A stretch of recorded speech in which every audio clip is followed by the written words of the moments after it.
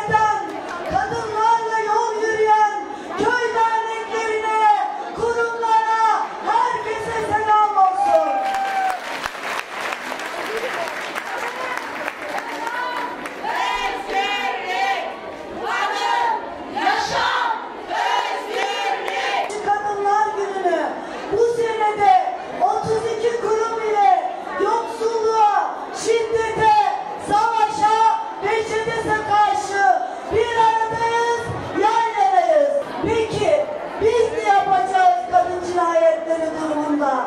Bu haksızlığa, bu yanlışlığa, kadın cinayetlerine göz yummaya devam edeceğiz. Sıranın bize, yakınımıza veya çocuğumuzun başına gelmesini bekleyecek? Tabii ki hayır. Biz kadınlar biz kadınlar